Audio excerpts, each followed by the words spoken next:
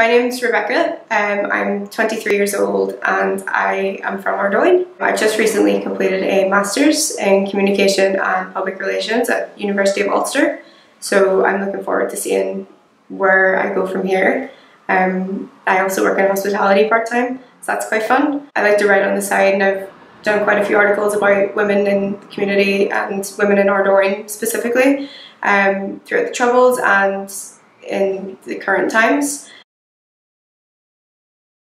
Growing up in Ardoyne was great. Um, I always had something to do. I was really involved in jiu-jitsu um, at the youth club and I also attended the John Paul Youth Club.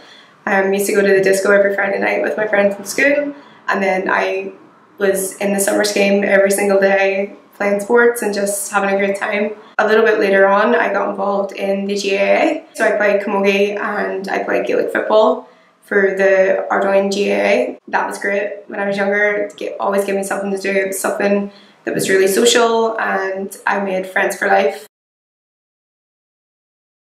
Ardoyne to me is it's home firstly. I have friends from all around Belfast and all around the country but there is a distinct part of me that is different because I've grown up here and I've had the experiences that I've had.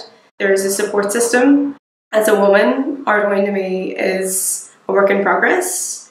As a gay woman, Ardoyne to me is a, is a work in progress, but as a place, it's a very welcoming, accepting community. And from the outside, perhaps people may not see it to be as, as open as it is, but I feel very strongly that this community has, has embraced me for, as myself, um, as, an, as an openly gay woman.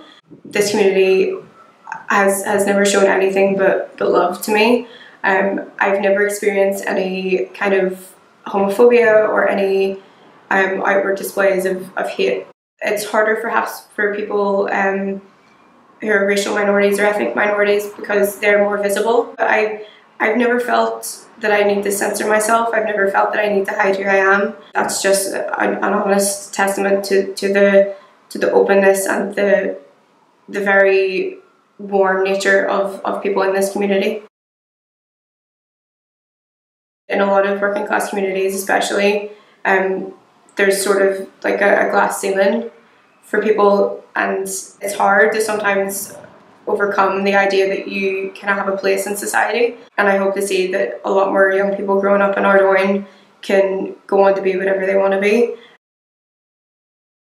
People like Anna Burns, um, who's just won a Booker Prize, um, and she's from the community and she went to St Gemma's